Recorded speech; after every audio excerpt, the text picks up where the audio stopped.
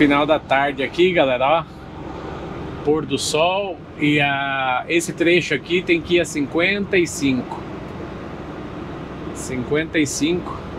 Agora são exatamente 8 horas da noite. E nós estamos aqui. Estamos na pegada aqui. 8 horas da noite tá essa, esse sol aí caindo. Na Califórnia já não é engraçado. Na Califórnia vocês não vão ver 10 horas da noite o sol lá em cima. É só lá pro norte. Então agora nós estamos no sentido contrário, né? E é o que vocês estão vendo aí, é a cidade de Fernley. Fernley na, na, na, em Nevada. Estamos quase chegando em Reno. Quer ver agora o sol dar uma escondida lá, fica melhor para vocês verem aí. Dá uma escondida atrás da montanha lá, eu acho. Aqui tá tudo em construção desde que acabou o inverno. Eles colocaram os cones aí e já era. Já era, só construção. Olha lá, West Fernley. Então nós estamos aqui, tomar cuidado com esses cones, o sol na, na cara, né? O sol na cara aí. Ali tem um Loves e do outro lado tem um Pilot. Atrás do Pilot tem o Speedco e tem precisar de consertar caminhão alguma coisa, dá para ir ali. E, e ali também tem o Blue Beacon. Blue Beacon, para quem não sabe, é a, eu acho que é a maior rede de lavador de caminhão dos Estados Unidos e é a melhor. Eles lavam teu caminhão praticamente inteiro sem tocar no caminhão, só só na água ali, jato e tudo. Às vezes você vai, tem muito lavador aí de, de, de imposto. Só que você vai, ah, cara, porra, eles metem uma vassoura no caminhão. Eu já não gosto muito de, porque senão risca, né? Risca muito. Eu já gosto do Blue Beacon porque não, não tem essa esse negócio de ficar arrastando vassoura em cima de caminhão. Olha lá, ó. O postão tá ali, tá cheio já. Nós estamos nesse corredorzinho aqui, ó. E ele dá uma funilada aí, apertada aqui. 55 velocidade máxima, ali já vai começar a aumentar. E aí tá começando o entardecer aqui. Mas vai dar pra ver bem aí, eu acho. Logo ali na frente nós vamos entrar em Reno. Muito cassino, capital de Nevada, Reno. Todo mundo pensa que é Las Vegas, né? Mas Las Vegas é a cidade mais famosa de Nevada. Capital, se eu não me engano, é Reno. É aqui pro norte. Tem a rodovia ali a 3, se você subir a 395 sentido Oregon, pense numa estrada ruim. Não ruim assim, é, asfalto ruim. É muita curva, nossa senhora, vai por trás de montanha, estrada pequena. E nós estamos aqui, ó. Caindo a noite bonita aqui, ó. Já já, daqui 30 milhas, estaremos na Califórnia. Estamos rodando, hein? Nessa série aí de, de vídeos aí, você pode ver. Saímos lá de Idaho, entramos no Oregon, entramos em Nevada e agora estamos quase entrando na Califórnia.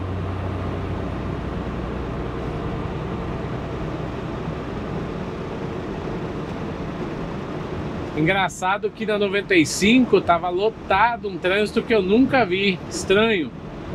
E agora na 80, que era para ter muito caminhão aqui, eu não tô vendo nada. Muito raro aí você vê um caminhãozinho ali aqui, mas aqui geralmente é cheio de caminhão. Aí tá um caminhão da, da fábrica de tinta ali na frente. Ele tá com o pisca-alerta ligado já faz umas 20 milhas.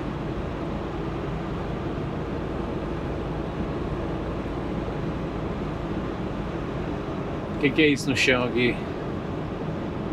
Olha só. Um balde de lixo. Baldão de lixo ali no, no chão.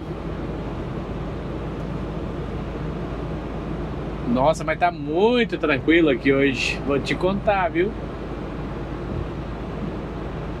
Tá tranquilo demais. E o Rucão tá aí, ó. Agora o que, que vai acontecer pra mim? Eu vou. Hoje, se Deus quiser, eu chego hoje à noite lá na entrega. Eu durmo lá. Olha lá, ó, Sparks 26 milhas, Reno 29 Sacramento 159. Então nós estamos nos finalmente aí. Estamos nos finalmente. Estamos carregadinho. E daqui a pouco, se Deus quiser, a gente chega lá. Vou mostrar para vocês chegando lá. E amanhã só descarregar e lavar o cargueiro. Esse rest area aqui é bom pra caramba. Quando eu tenho tempo eu fico nele aqui, ó. Ele tá pertinho da 3 horas ali de de Sacramento. Nem isso, 2 horas e 45 minutos. E aí você levanta e já roda 3 horinhas, tá lá. Isso quando eu tenho tempo, né? Agora eu tô sem tempo. Agora eu tô sem tempo, agora tem que continuar na, no passo do gado aí devagar e sempre. Mas é, tomara, agora já é 8 e 10 mais umas 30 milhas aí, vai dar umas quase 9 horas da noite. Espero passar em Reno aí sem sem tráfego, né? Sem trânsito nenhum. Vamos ver se vai dar. Mas é, tá caindo a noite aí, ó, tá show. Acabou o sol, tava, agora a temperatura tá caindo, ficou na casa dos 100 Agora que que tá 88, tá ainda tá alto lá fora, é que eu tô no geladinho aqui. Mas lá fora tá alto. Tá vendo aqui, ó? Essa parte aqui é bonita. Vou tentar mostrar para vocês aí, é umas é umas curvaiadas aí em montanha antes de chegar, eles chamam de Mustang. Mustang, Mustang, né? As montanhas do Mustang aqui, ó. E aqui é brabo também, quando tem neve tem que acorrentar aqui. Aqui é... Como é muita curva, a velocidade aqui é 70. Mas eu não vou 70 porque é uma vira para esquerda, vira para direita. E eu eu tenho um pouco de receio de, de, de ficar nessa loucurona de virar e vai para lá e vem para cá com essa carga. Então eu vou na manha aqui, ó, Vou na manha e a galera, tá vendo? A galera vai parando, não sei o que acontece. O cara passou e segurou ali, ó. Agora a turma tem que estar tá saindo na minha frente para poder passar ele. Vai que um doido desse segura no freio aí, eu tô no sal. Entendeu? Então tem que ir no sapatinho. Nessa, nessa rota minha dedicada, eu não tenho pressa, não tem aquela loucurona de ter que correr para lá, dá tempo. É um dia de serviço. Eu chego, eu carrego, vou lá, durmo lá, no outro dia descarrego, volto, durmo, carrego ou carrego à noite e já saio, então não, não, não precisa fazer loucura. Não precisa fazer loucura. Já trabalhei loucurão assim de tempo, ah, cara. E não, não, não tá pagando tão bem pra gente fazer loucura, sabe? Então é o que é e acabou. É igual eu falei, o caminho do meio é o melhor. Acha um balanço ali e vai na mãe. Ó, a galera tudo indo viajar, ó. Galera sai daqui, vai viajar para as montanhas da Califórnia, a turma da Califórnia sai de lá e vem para cá. É um intercâmbio de, de gente em estado diferente aí. A Califórnia, a cada dia que passa, ela tá mais cara. Tudo na Califórnia é bem mais caro. Você vai pagar aí um aluguel de um quarto na casa de alguém aí na faixa de mil dólares. Mil dólares para ter um quarto. Então, o que eu notei lá em Idaho, tem muita gente da Califórnia indo morar em Idaho. E em todo lugar, né? Saindo da Califórnia, é isso que eu quis dizer. Justamente por causa disso. Tudo na Califórnia, você vai no mercado, você vai num. Tudo é mais caro. Então a galera que não que não tem um poder aquisitivo bom vai saindo e vai para outro canto. E tá apertando, viu? Tá apertando. Califórnia é um estado, vou te falar, Califórnia é um estado que bem diferenciado, o clima é bom, todo mundo quer estar na Califórnia. É, você coloca uma casa para vender na Califórnia, com duas horas tu vendeu a casa. Não importa o preço.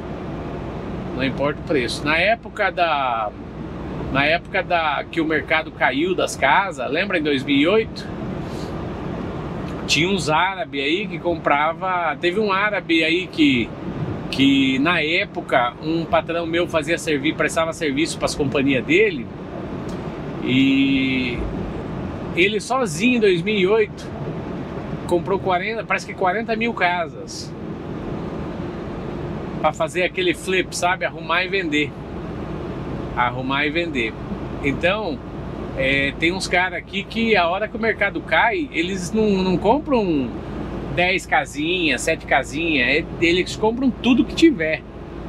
É só botar preço que eles vão e já tó e dá e eles compram tudo. São milhares de casas aí, cada, cada pessoa aí compra aí mil, duas mil casas aí, os caras botam para derreter. Né? Se você anuncia a sua casa é, no bairro onde eu moro, é, venderam uma casa esses dias e eu até fui ver, né? Só para ver como é que é e tal, e ver preço, essas coisas. Eu fui lá eu falei, vamos dar uma passada lá. Daí eu fui. Fui lá e quando foi de tarde, a casa já tinha sido vendida. O cara que vende casa lá ficou só um dia na casa. Vai vendo. Um dia na casa já compraram a casa. Então eu tô pensando em mudar para Idaho. E só que o que acontece? Eu preciso comprar a casa primeiro lá em Idaho para depois vender a minha. E, e talvez eu nem venda, talvez eu só alugue a casa da Califórnia e, e, e vá para Idaho.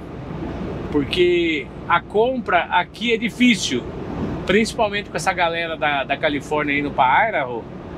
É, já tá virando leilão lá, sabe? Vamos supor, eles pedem 500 mil numa casa, então no Idaho não era assim. Você comprava casa fácil lá e ninguém queria lá, ninguém queria morar lá.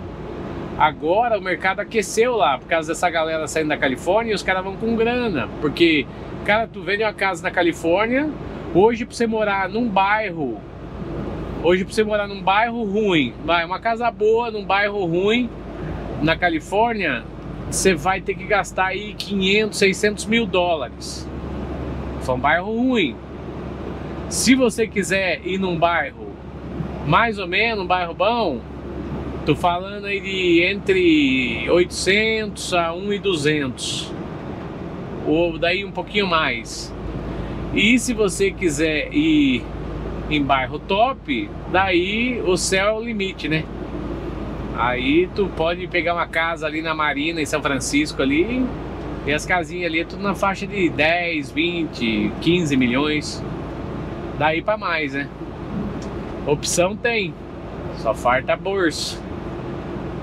Né? Eu tava vendo um vídeo, eu vou te falar uma coisa, velho. Eu tava vendo um vídeo, uh, quando fui, eu tava descarregando o caminhão e falei, eu vou ver, né? É, nós do, do, do, Brasil, que tá acostumado com, com as coisas aí e tal, às vezes você vem pra cá e você vai num bairro ruim aqui nos Estados Unidos e acha que é bom. Demora um pouco, demora um pouco para você perceber o que, que é bom, o que, que é ruim, porque você acha que tudo é bom.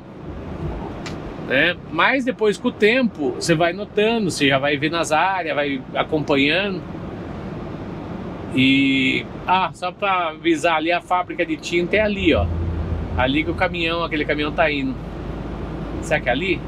É do lado desse, desse prédio aí. Mais para frente, não é esse prédio aí, mas lá na frente um pouquinho tem a fábrica de tinta deles ali. Voltando aqui, galera, tava tava falando, né? tava ah, descarregando lá e aí tava na televisão ali assistindo, tal. E tava falando, né, quando a gente sai do Brasil, vem para cá e acha que tudo é bom, mas depois com o tempo você vê que, né?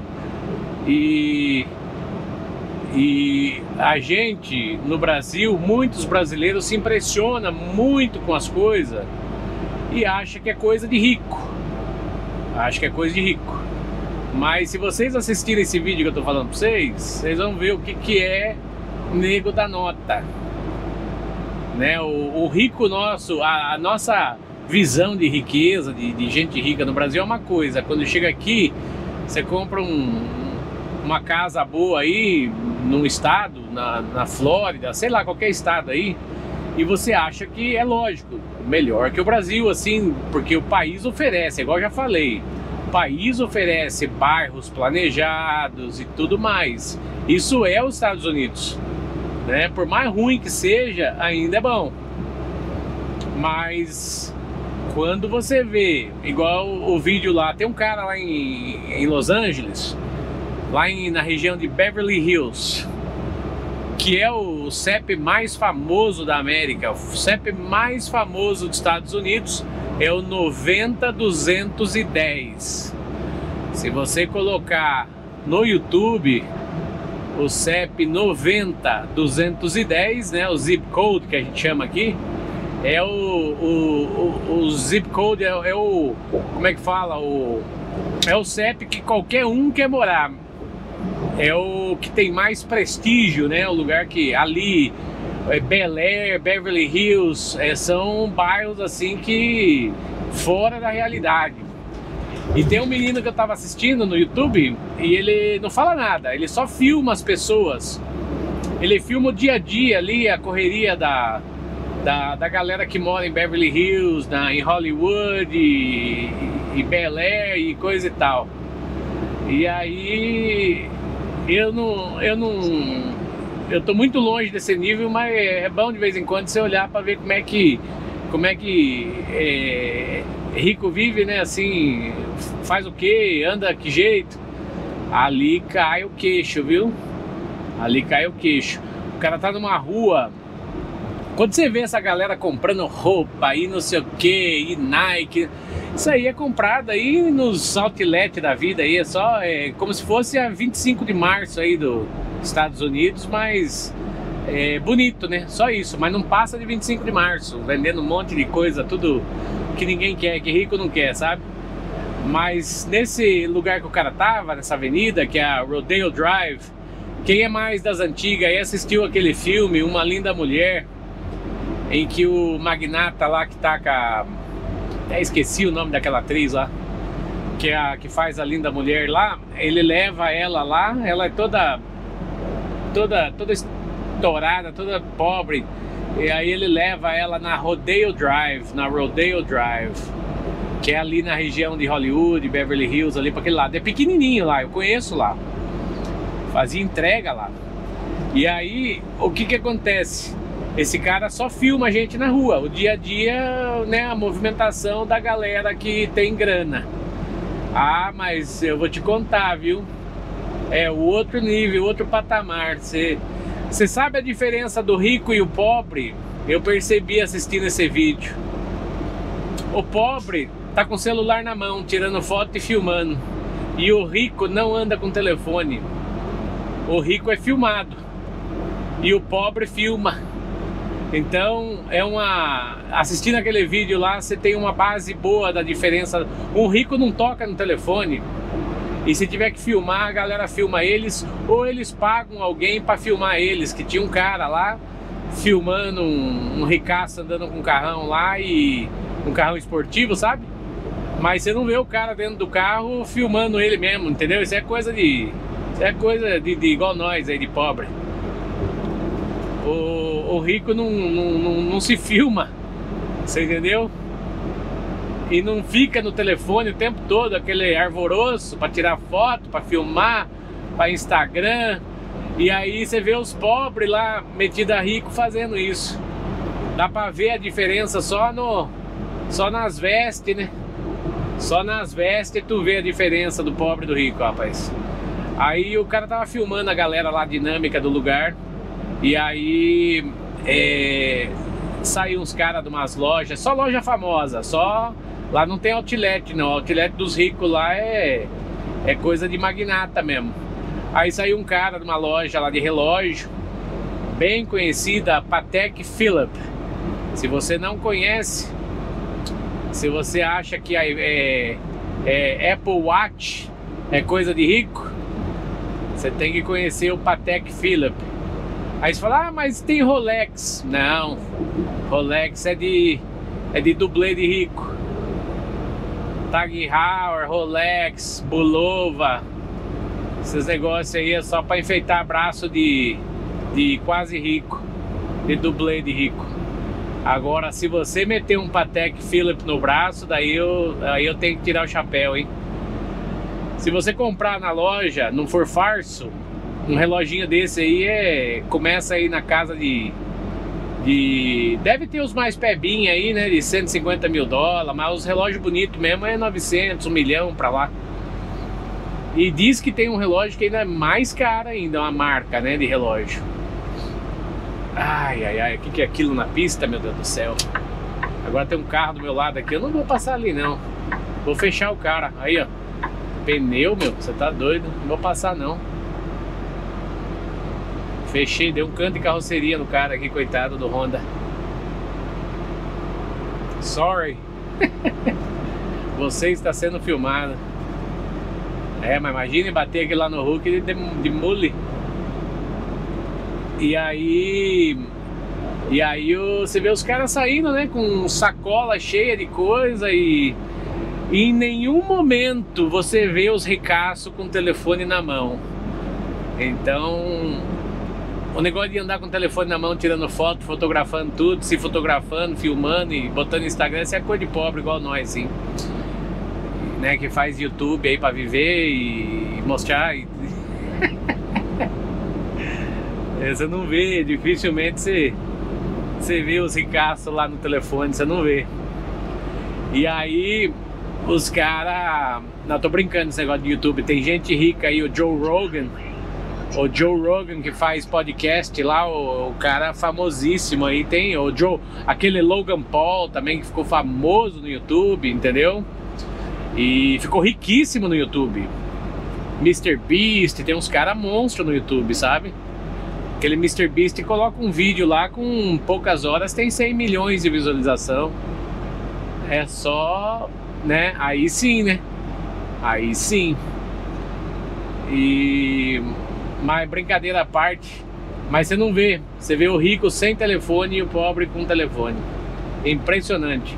Com iPhone ainda, hein? no meio do, dos tubarão lá. E a calçada, o táxi deles, o táxi, vai vendo. O, o Uber dos caras é, é só aquelas Cadillac Escalade, que é a Cadillac mais top que tem. É, daquelas grandona mesmo. Tem banco de. Os bancos daquele negócio lá parece aquelas cadeiras de, do papai, assim, parece. Parece poltrona de primeira classe de avião, sabe? E o Uber dos caras é só Cadillac nesse nível aí, que deve estar tá mais de 100 pau, brincando aí umas Cadillac dessa. E eu vi um, um caboclo lá com um carro de Fórmula 1, só pra você ter uma ideia, porque ali é no bairro, né? Igual um bairro aí. E aí a galera sai, vai tomar um café e tal. Vi um cara com um carro de Fórmula 1 da Renault. De Eu nem sabia que podia andar aquelas pragas na rua. Bicho monstro lá. Quanto será que não custou aquele Fórmula 1, né? O cara. E o cara para ter grana para comprar um Fórmula 1 para rodar de final de semana, aí é dureza, hein? É, Rolls Royce é mato lá. Nossa senhora, mais de monte. Então é a Califórnia, o rico não gosta de ficar com o pobre, não adianta. Então quando começa assim, você vê do governador da Califórnia lá, aquele cara lá que é, é sobrinho da Nancy Pelosi lá também, ele a Califórnia é um estado que eles querem só as grandes corporações. Eles não apoiam. Você vai lá, monta um restaurantinho, eles não te apoiam. Não é igual você ir para New Jersey montar o seu negócio e tal. Eles só querem corporação grande. Né? Você não vai numa casinha de material do, do Zé da vida aí, ou no mercadinho. Eles não querem. Eles até tem aqui bastante. Só que o governo não apoia esse tipo de comércio. Dificilmente você vai chegar na Califórnia e achar uma ruinha que tem um monte de comercinho. Não tem, é só companhia grande, é, é a rede tal, de restaurante tal, é a rede tal, é só rede grande que os caras apoiam os grandes. E força muito o pobre a ser empregado de, de, de deles, né, das corporações. Então rola muito isso na Califórnia, sabe? Eles ajudam muito os grandes e os pequenos, eles mantêm com apoio, auxílio. E mais para você ficar vivendo de das corporações grandes. Então a Califórnia não é um lugar bom para você começar um negocinho do nada aí. Tem bastante lugar nos Estados Unidos que é bom começar um negócio pequeno. Califórnia não é um deles. Aqui você já tem que chegar chegar correndo já. Chegar correndo. Não apoiam e, você com um negocinho peba aí, você não, você não faz chover aqui na Califórnia, sabe? Porque o próprio público seu não, não vai querer ir no, no restaurantinho de esquina sem marca nenhuma com o seu nome lá. Restaurante da Rosalinda, você entendeu? Não vai. Tem público. Ó, já estamos em Reno aqui, ó. E aqui vai pegar um transitinho aí. Não entra na minha frente não. O Hulk não pode frear. Então é isso aí, mas é um vídeo lá, se você colocar Beverly Hills vídeo lá, você vai ver esse cara, ele fica só filmando os magnatas lá. Gentarada lá, vou te falar. Poder aquisitivo muito alto, assim, muito além do, além do que a gente tá acostumado a ver. Nem, nem, nem em bairro chique em São Paulo você não vê um, um negócio daquele. Pior que São Paulo tem magnata, viu? São Paulo tem magnata, forte lá. Mas dificilmente vai chegar aí no, no Beverly Hills. Que ali naquele bairro ali tá concentrado os maiores ricos aí do mundo inteiro, né? Tem árabe poderosíssimo que mora ali. É só os caras mais pica das galáxias mesmo que mora ali que eu falo do dinheiro, né?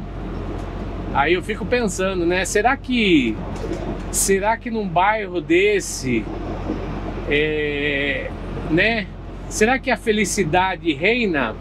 Porque a gente fica pensando, né? Se eu tivesse dinheiro para fazer isso, fazer aquilo, eu ia ser mais feliz. Mas será que reina a felicidade no lugar desse, galera? Eu acho que não. Porque se você ir na Hollywood Boulevard, daí você pode pegar também e olhar, tem lá. O que tem de gente lá, tudo parece, eu vou te falar, parece que saiu do manicômio. E um dia desses foi flagrado lá uma atriz, fez um monte de filme. O motorista dela levou ela não sei na onde que ela queria ir lá comprar uma cachaça, lá sei lá o que a mulher tava irreconhecível. Eu esqueci o nome da atriz agora. E, e ela mora lá, né, em Beverly Hills, faz aquilo, aquela andança ali, tudo, né? Quando sai pra rua é aquela coisa toda maquiada, só porque sabe que tá cheio de gente ali fotografando, turista, curioso. Mas daí quando você vê assim no, no dia a dia mesmo, parece que Parece que é dominado pelo capeta, rapaz. A mulher parecia drogada lá no meio da rua, lá fazendo umas coisas lá que. sei lá. Então, quando você imagina que o dinheiro vai trazer é, felicidade para você e para sua família, nem sempre. É igual eu falei num outro vídeo aí. Você tem, você pode ter sucesso e tudo, mas tem que ser, tem que ter uma base, tem que ter uma estrutura, tem que ter uma história até chegar lá. Você vê aí o que você mais vê é nego falando que é empresário e não tem um funcionário. É, ah, eu tenho isso, tenho aquilo, mas não tem nada, não tem. O que que você pulou? o que que você pulou? Então, é, não cola para mim. Eu acho que ou não é rico, ou não é bem sucedido, tá vendendo uma imagem, porque o que mais tem hoje em dia é você vender uma imagem para poder atrair gente que pode te dar uma escada aí para tem o caminho mais curto, né? Então, é, eu acho que é isso aí, porque não cara é um empresário bem sucedido, mas não tem empresa nenhuma, só empresa de fachada e não tem funcionário, não tem nada, estranho, né? Agora, ali não, ali você vai ver ali cineasta, só que é um mundo é um mundo complicado, né? Um mundo que rola muita droga, é um mundo passageiro ali, um sucesso passageiro, né? Você vê a Madonna aí, Madonna já tá lá, já tá quase com o pé na cova. Né? Não sei o que aconteceu com ela lá, já, já tá lá na UTI. A Madonna, velho. Vai vendo. A mulher ganhou tudo na vida. Tudo, tudo, tudo que o show business aí podia oferecer. A Madonna ganhou, Michael Jackson, Elvis, olha.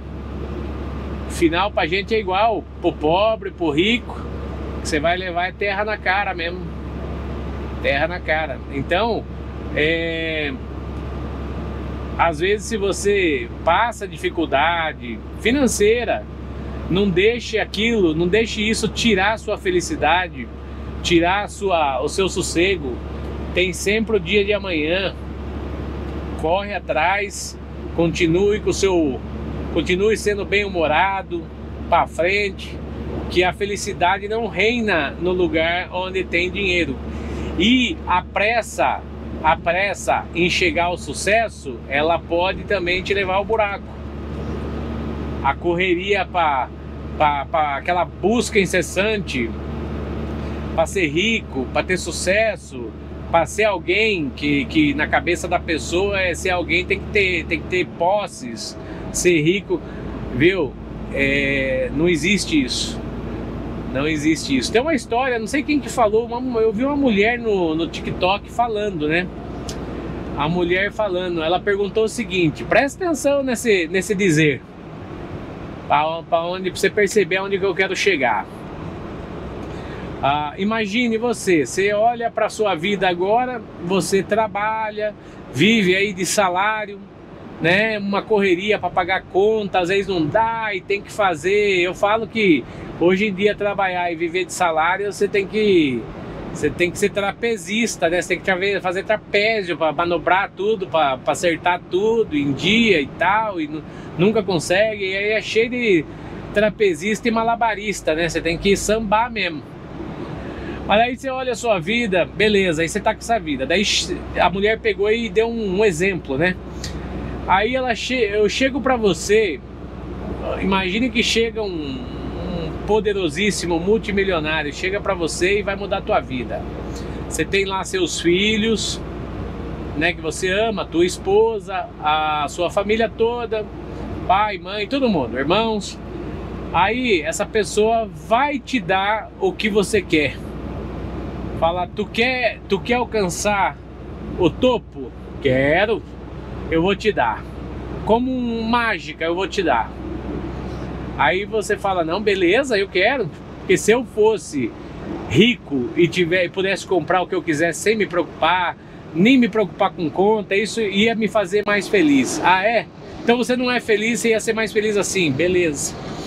Aí, galera, olha só, a mulher falando, né? Ela falou, e se eu te der a 100 milhões hoje de dólares, você ia ser mais feliz? Ia. E se eu te desse todo o dinheiro do mundo?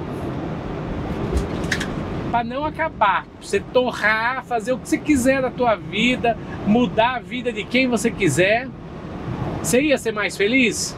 Aí, meu Deus do céu, aí eu tava no céu. Só que em troca disso, eu vou te dar um tempo para você fazer isso. Eu vou te dar um tempo. Eu vou te dar todo o dinheiro do mundo, não vai te faltar nada quando na, na questão financeira, vou te dar tudo. Esse limite vai ser um ano. Ah, mas por que isso? Porque a partir de um ano você não estará mais aqui. Eu vou te levar comigo. Você vai embora. Você vai embora desse planeta aqui. O seu tempo de vida é um ano. Nesse um ano eu vou te dar tudo. Você vai poder mudar a vida de todo mundo que você ama. Só que um ano acabou, tudo acabou. Aí, aí a pessoa que foi perguntar isso aí lembrou que tinha filho, tinha esposa e tinha uma vida. Daí a pessoa falou: Ah, não, mas assim, nessa condição eu não quero. Por que, que você não quer? Porque o amor dos meus filhos comigo e eu com eles, da minha esposa, da minha família, é muito maior. Eu não posso, eu prefiro ficar do jeito que eu tô e, e eu ter isso aqui até onde Deus me permitir. Né? Porque a vida da gente é um. Você nunca sabe quando que é a sua senha. Você sabe que vai ir, mas não sabe quando. E é o mistério da vida.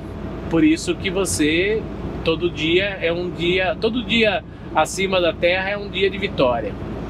Então, você já é feliz, mas você não dá valor. Você já tem tudo que é de mais precioso na vida, tu já tem, que é a sua saúde e as pessoas que você ama e as pessoas que te amam ao teu lado, do teu lado, dorme, levanta com você tudo. Então você já tem tudo o que precisa. O resto é resto, dinheiro é papel.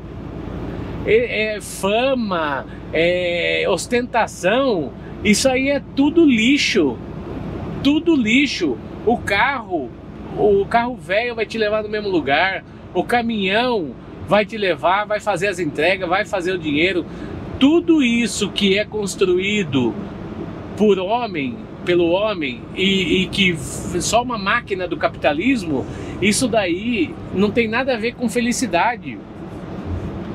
Isso aí tem, tem a ver com necessidade, né? Você não sai, você não vai no, no, no, trabalho de carro porque você, porque você ama andar de carro. Você vai porque sem carro você tem que andar ou pegar uma bicicleta aí, alguma coisa. Então tudo que é feito pelo homem foram as necessidades que tiveram que ser feita para suprir a demanda do capitalismo. Então, por isso que nesses lugares de ostentação e riqueza e tudo isso, falta o que? Falta amor, falta falta é, felicidade, né? E amor.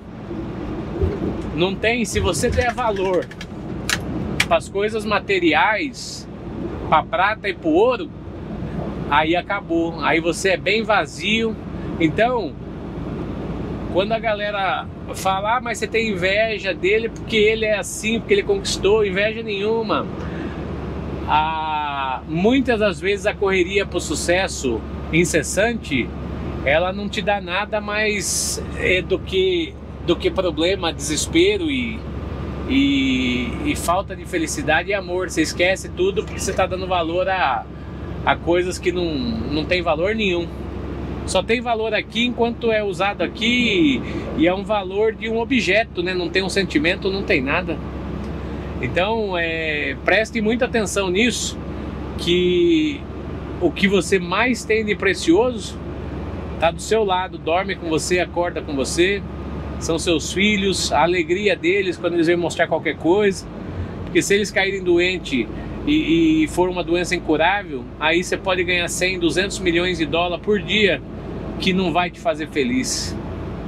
Então aproveite esse tempo na terra que Deus te deu e viva intensamente e seja feliz. O resto é só luta. Então não, não lute muito. Não seja Não, não fique nessa correria incessante pro sucesso aí, para para ostentação, para dinheiro, para carro bonito, para isso, para aquilo.